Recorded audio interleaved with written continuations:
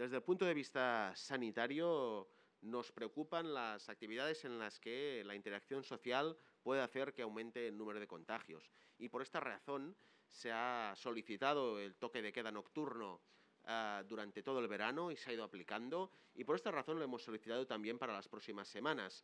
Um, la decisión del Tribunal Superior de Justicia es no concederlo y aquí pues nosotros uh, no podemos sustituir al Tribunal Superior de Justicia. Vamos a seguir asumiendo toda la responsabilidad en materia sanitaria, pero insistimos en que eh, para nosotros sigue siendo necesario este toque de queda eh, por una cuestión sanitaria, para eh, disminuir el número de contagios existente, porque aún tenemos una afectación desde el punto de vista asistencial.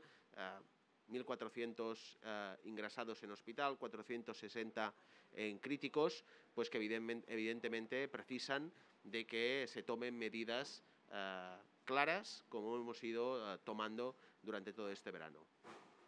El Gobierno de Cataluña va a seguir asumiendo sus responsabilidades, pero lo que no podemos hacer es asumir las responsabilidades del Tribunal Superior de Justicia. Por lo tanto, vamos a analizar la resolución judicial, veremos cuál es el recorrido jurídico eh, que puede tener, pero evidentemente nosotros vamos a seguir a, eh, actuando con la resolución vigente, de acuerdo con lo que nos está permitido, y a partir de aquí seguir trabajando toda la campaña de prevención y también la campaña de vacunación.